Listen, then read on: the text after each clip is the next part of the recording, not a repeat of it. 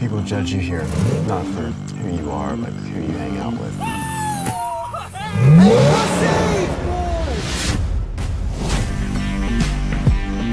See So you're gonna ask Roxy out again, or you're you just gonna spank one out to her every day till graduation?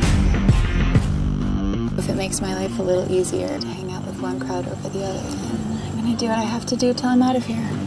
Remember one thing, though. You're having my sloppy seconds. I'm telling you, man, one day they're gonna go too far and they're gonna be sorry. I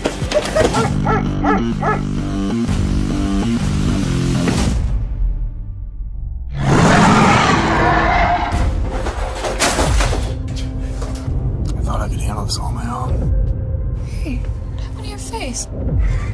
I have to tell you something. There's something that's said. All right, asshole, it's your funeral. Wait, Grandpa. He wants to kill me.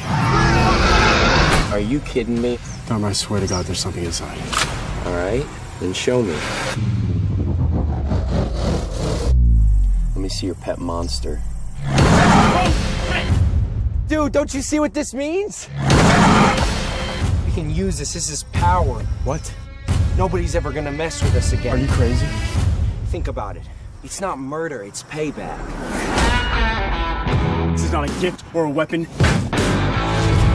This is dangerous. I'm supposed to be your best friend. Look what they did to me this time.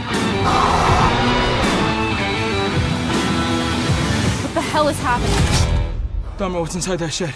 Get in. What the fuck's inside that shed?